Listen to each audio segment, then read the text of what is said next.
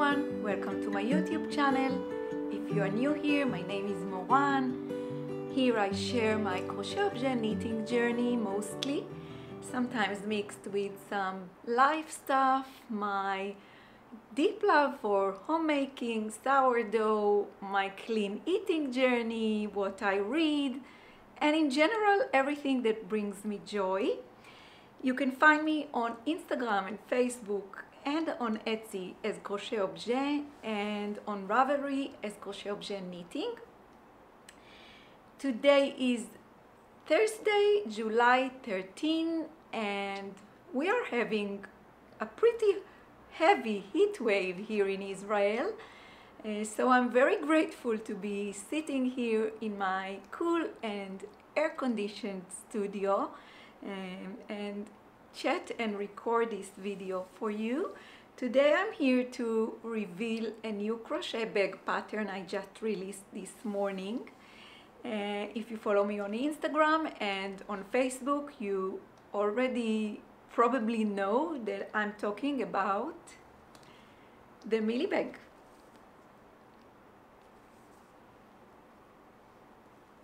So this is my new crochet pattern the Mili bag pattern. It's a new raffia crochet pattern. Um, yeah, and I just released it this morning and it is now available for 20% on both my Etsy and Ravelry stores.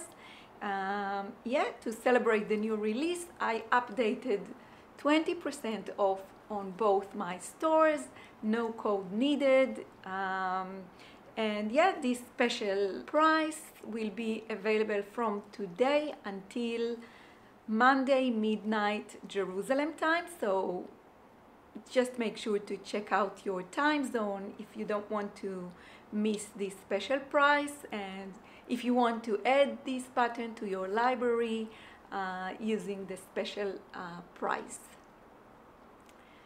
so this is the Mili bag pattern and today I wanted to share everything about it with you.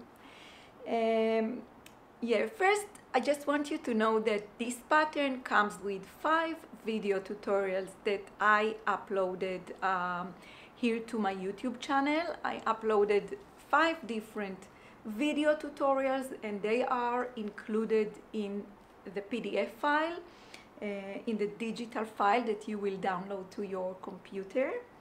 Um, yeah, five different video tutorials to help you along with the making.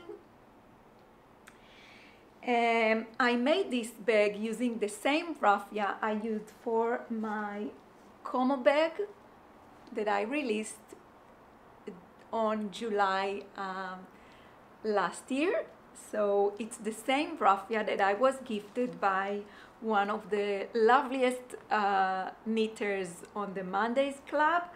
And this is the Adria Fil raffia. And I used the natural color. So I think it's an Italian raffia, 100% cellulose veg vegetal wood pulp the boy the boys um, and it's 25 grams per uh, this skein so I used five balls for my Mili bag pattern for my Mili bag and uh, it's more or less 350 uh, meters. Uh, so you will need 350 meters of uh, raffia yarn uh, to make the bag.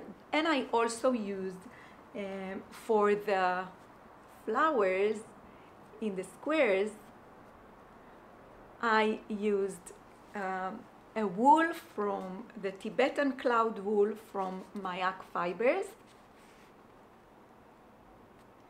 I used the wild daisy uh, color.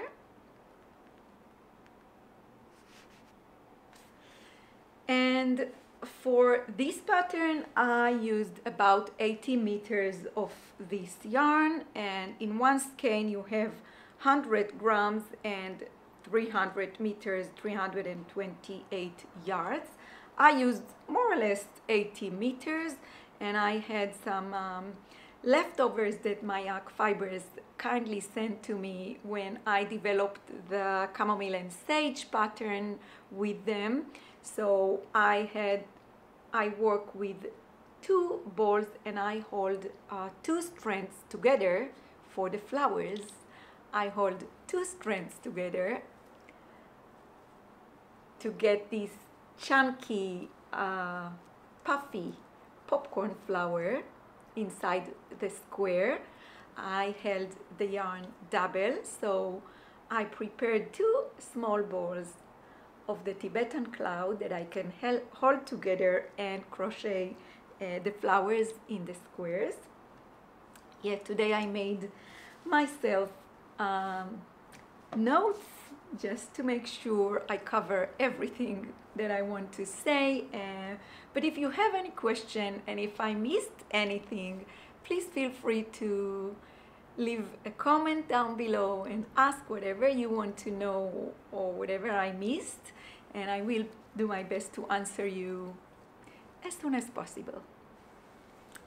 Yeah, I uh, used a 4 millimeter crochet hook for the entire bag from start to finish. I used a 4 millimeter crochet hook and the gauge is 16 stitches per 4 inch so 10 centimeters measured on the single crochet uh, section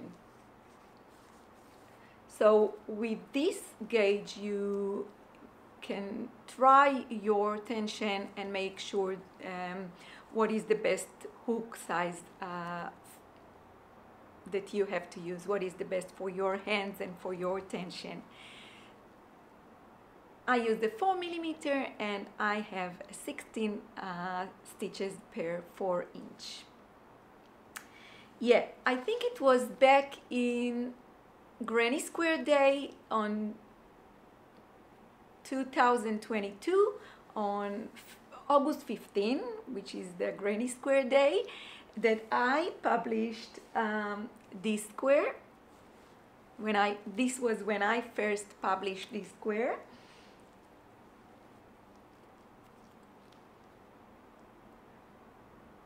And this square is a mixture of raffia and wool.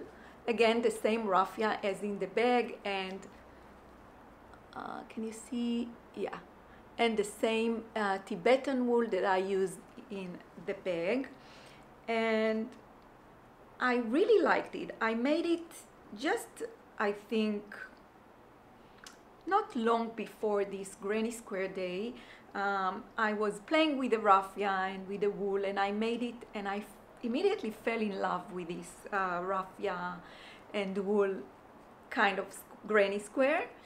And I posted it on the Granny Square Day on the social on my social media, and uh, I got a lot of positive reactions and uh, yeah, and the girls here on my weekly clubs um, also really really loved it, and I knew I would like to somewhere in the future to make something out of it, and also you were so kindly asked uh, when will I have the pattern for this square and when will I make a pattern out of this square. So I think from the first I had a big idea uh, in my head uh, starting to grow. Uh, I, I knew I wanted to make a bag out of this square, co cooperating this square in a, a bag pattern. But ever since I made it, it was placed here on this cabinet under the big window here in my studio and it was sitting here in a nice composition with other squares and swatches that I knit and crochet and it became part of the styling of the studio. But every time I passed and I saw it I was inspired to start and develop a new pattern with it. Um, but I think it was uh, only at the end of May when one of the Mondays uh, lady ladies, the Mondays Club ladies, uh, came to the meeting with a beautiful small crochet raffia kind of tote hanged on her uh, shoulder and she bought it in Paris and she came with it to show me the this pretty bag and I was totally inspired by this bag by this chicy bag uh, I will try to find a picture uh, of this bag and I will insert it here. I think I shared it on one of the reels that I sometimes make after the after the weekly uh, Mondays club. So she came with this bag and I was totally inspired and this was the moment when I felt my hands start to be itchy and I already know this feeling uh, as a designer. I know when it comes and I knew that this is the time to start up with my bag, raffia bag idea and I started to crochet with the raffia I had in my studio and I had this Adria Fil, I had five balls left from uh, the natural color so I knew I will make a bag pretty much in the same size of um, the Como bag because also in the Como bag I used five balls of the same raffia. So I knew it will be um, made pretty much, it will come up pretty much the same size or more or less. Uh, and I started to crochet uh, these squares can you see can you see it? Maybe if I touch the screen. Anyway I crocheted these raffia and wool mixture uh, granny squares. And I made I think six of them and uh, I made a stripe. I joined them to a stripe of granny squares and then I closed the stripe to create a tube and I think from the moment it became, uh, it came out uh, as a tube, from the moment uh, I had a tube shape, I could clearly see uh, in my mind, I could clearly see the bag it is going to become. I think it, I could clearly envision the shape of the bag, the size and the silhouette of, of the bag that I'm making and designing. Um, I I just couldn't see the handles yet. But I was thinking, okay, this is the nature of a designing process, and a designer is a, a problem solving, or I don't know how to say it right in English, but I will come up with a solution for the handles. I trust myself, I trust the process, I will just make what I can see in my mind, and then when I come to the handles, I will handle it. so, uh, yeah, so I just started crocheting and making the bag. I had my uh, pattern writing software opened on my computer, and everything that I made, I immediately wrote down. And it was really uh, a good idea because it was it made my life easier while writing the pattern because I have from my pattern writing experience I know that it is the best way to mostly when you want to explain how to make simple things simple things are the hardest to uh, explain in a written pattern but I already knew that I will um, that I will include uh, video tutorials within the patterns. So I also had my um, video recording area next to me. I wrote the pattern and then I recorded a video of everything that I wanted to explain through video as well. So you, in some of the sections, you have written instructions and video tutorial included. So yeah, uh, let me explain how the pattern works. So you will start by making the squares as I just explained now. You will work this pattern just exactly as I uh, crocheted it, exactly the same way, and it works in sections. In the first section, you will make six uh, squares, six granny squares, uh, wool and raffia squares using these popcorn stitches. And then after you have uh, six squares, you will be you will join them using the front slip stitch method and I have a video tutorial for this included as well. When you have uh, six squares stripe of six squares you will close it to shape a tube and when you have the tube of squares ready you will put it aside and then you will move on to the next section and on the next section you will work a foundation chain and you will crochet an oval shape around the foundation chain uh, you know with all the increases in the corners.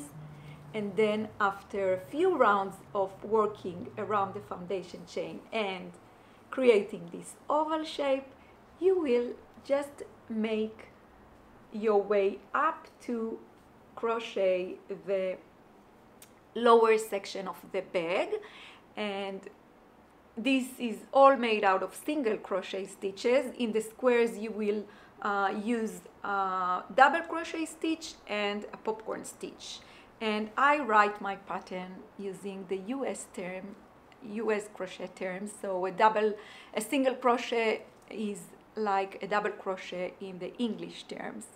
So all the lower part of the bag or the second section is made out of single crochet and then when you have the lower part of the bag ready, you will uh, join it with a tube of squares. And again, you will use the slip stitch, front slip stitch method. And for this section, for joining both parts, one to the other, I also uh, created a video tutorial. And I think I forgot to mention, but after you finish uh, crocheting the squares, you will end up the square making with making a round of uh, front post single crochet, uh, front post slip stitch, sorry, around the first round of the square. So this will be the last round that you will be making on the squares and I also included a video tutorial of how I make it. In this video tutorial you will see um, the, the front post slip stitch uh, was made using this wool which is a Sandnes, Sandnes garn cos uh, because when I first made it I thought I would like to add a color so I used this uh, yarn uh, the color is I'm not sure what color is it. 9512 maybe.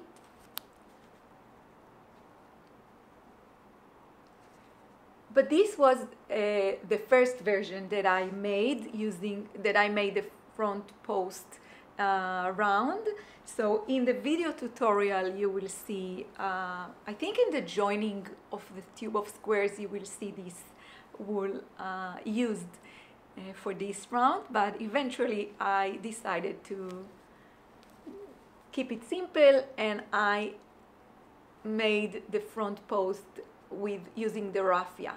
So the video where I show how to crochet the front post, I use the raffia yarn so you can see exactly how I do it.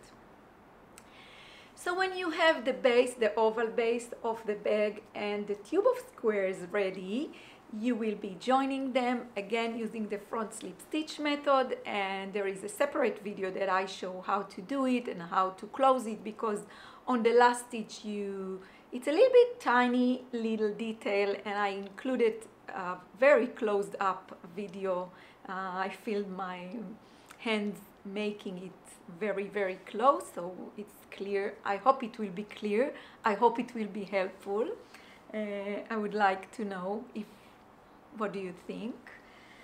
Uh, and yeah, and after, and then you will actually get pretty much most of the bag will be done. And then on the third section, you will be making the upper part of the bag.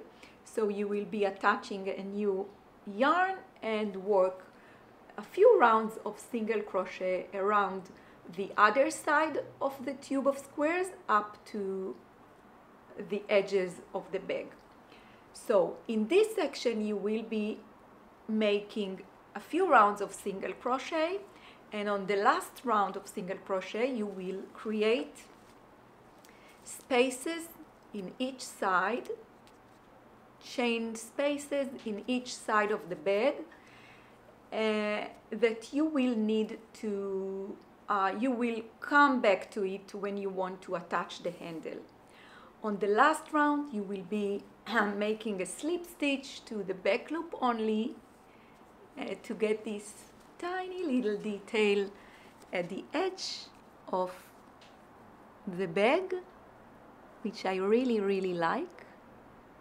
And on the last section you will make the handle. And yeah when I came to the handle designing um, it was it was quite a journey. I tried a few handles designing designs a few handles options. I at first i had two handles in my mind um, hanged out from the inside of the of the bag and i tried and i made a few versions um, a few options and it was quite a journey i wasn't happy uh, with it i wasn't happy with what i have what I had, and I thought, okay, I'll give it a day or two. I'll sleep over it. Maybe it will. Uh, it will. I will come up with the with the idea. Um, yeah, and I made a few options, and but I had a, a general idea uh, in my mind. I wanted my, the handle, no matter if it will be one or two, I wanted it to be made out of a braid of um, using the raffia yarn, using like uh, um, a bundle of uh, like 30 strands of raffia yarn. So I made a hand, the handle, and uh, I started with a knot. Made a braid out using 30 strands of raffia and then I ended up ended it with another knot made out of the raffia. And then I wasn't sure how, how I want to, to attach it and how will it be and I left it aside um, in the space where I film, I record my uh, video tutorials, I put it aside, I just laid it there without attaching it and I put it there. I think it was a, Sunday. And then I said, okay, on Monday I have the Monday club. I want to get prepared. Um, so I didn't have the time to continue working on it. So I left it aside. I put the handle, just put it on top of the bag and left it there. And when I came the next morning, I, I was I, I really loved it. I loved the single handle hanged from one side to the other side of the bag. Uh, so no two handles. And I thought, wow, this is it. I have it. This is the handle that I want to have for this bag. I really, really like the shape and the silhouette it makes. And I just like everything about it. So I had I had a very happy moment. I said, okay, I have it. Here is the solution. I have the handle designed, uh, made. So yeah, the day after I was sitting and writing and making the handle and finding the solution of how to attach it and yeah, when you come to the last part of the bag making and you want to attach the handle, you will be using the space, chain space that you prepared uh, on the last single crochet round here. And then you will uh, take this bundle of 30 raffia strands back to the inner side of the bag and then you will be uh, attaching it here using um, using I think it calls the wrap wrap knot. And I also included it in the um, attaching the handle video tutorial that I made. And then you will be using the same raffia yarn that you used for this wrap knot, wrapping knot. And you will be attaching the handle to the inner side of the bag to both sides and you will be uh, attaching it so you your stitches are not showing on the front side. So this is how it looks. I hope you can see clearly and this is how it looks from the right side from the wrong side. And yeah this is it. You will be attaching the handles. You also have a video tutorial that I show how exactly how I do it. So you have it as a written instruction within the pattern but you also have it as a video tutorial. Uh, and yeah I think uh, this is it. This is how you will make the Mili bag pattern. And when you are done if you like this is just an an optional part but you can block your Mili bag. And I also included in the pattern exactly all the details how I block my raffia bag. Yeah I also included a picture shows how I do it. Uh, basically I just fill it up with paper with scrumped paper and I spray hot steam around it to shape it and to stiffen the edges a little bit. I shape it very, you know, like I like to go with the steam around it and go on top of every detail and you can also do the same when you have the stripe of the six squares you can steam it and block it before you join it but I think it um, gives it, you know, gives it the final uh, shape and um, I don't know, but blocking is, I think, for me, it makes the difference. But anyway, you don't have to block your raffia bag, you can immediately use it and uh, it will block itself while using it. So yeah, last weekend, Eyal, my husband, we celebrated his birthday and we had some plans for just me and him on Friday. And uh, we went out and for dinner, and then we went uh, nearby the beach to have a nice walk. And then we had tickets to a stand up comedy. So I took my Mili bag, it was blocked and it was ready to use and I took it out and about with me, and I was so happy to have it. And um, I like the way uh, it looks. Yeah, and what I did, I just placed this cotton fabric bag that I received. Uh, as you can see, it's a mango bag that I received with a purchase I made, I guess, or maybe my daughter uh, and maybe the shirt or whatever we bought was inside. So I have this mango fabric bag in which I put my uh, wallet and my glasses, uh, sunglasses, and I had my um, Sophie shawl with me the other day because it's uh, summer here in Israel, pretty hot summer, but uh, everybody is turning the air condition. Sometimes, you know, they take it in, into a very cold um, degrees. So I always leave the house with a, with a shawl or with a scarf. So if I feel too cold in the restaurant or in the stand-up uh, hall, uh, I can just put the scarf on me. So uh, and yeah, when we went to the to dinner, we had an early dinner and we had a sunset walk by the nearby the beach. Uh, I also took some knitting with me, coziest memory blanket. So I guess you could see I shared pictures on Instagram uh, of me sitting and knitting in the car on our way there. Uh, so yeah, my Mili bag is already in a massive use here.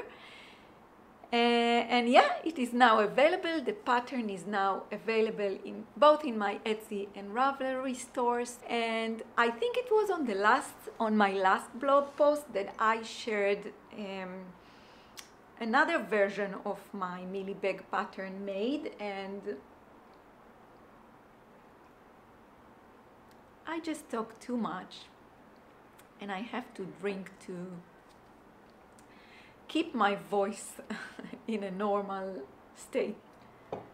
Yeah, so one of the ladies in the Friday club, she really loves to crochet bags. She really, she has a lot of crochet bags that she uh, made. And, uh, not always following patterns, but in most cases I was involved in how will she make it in terms of construction. And she, I think I shared it on my last blog post, she made a version of the Mili bag pattern use my Granny Kit cotton hell double. And as you know, my Granny Kit cotton is a sport weight uh, four ply yarn. So if you want to try and you don't have to have my Granny Kit cotton, you can use um, any yarn. And in general, I think you can get creative and if you don't have a raffia yarn or if you don't find a raffia yarn, I think you can easily uh, get creative and use whatever you have in stash and make your own version of Mili bag. Uh, I can't wait to see the versions of the Mili bags that you will be making in the future.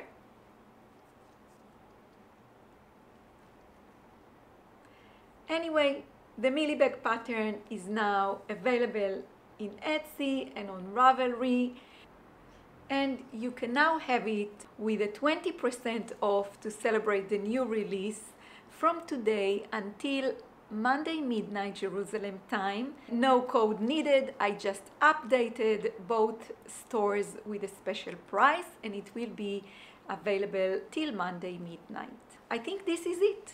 I think this is everything I wanted to share about the Mili bag pattern.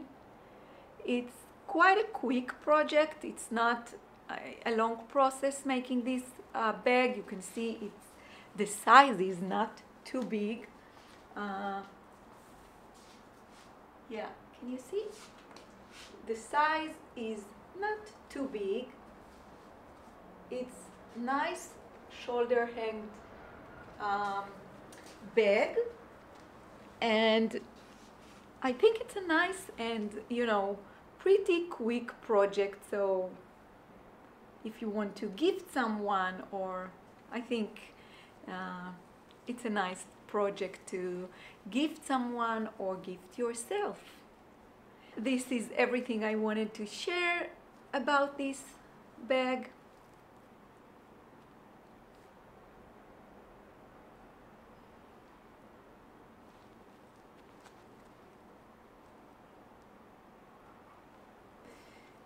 Um, and yeah, this is it for today, I think.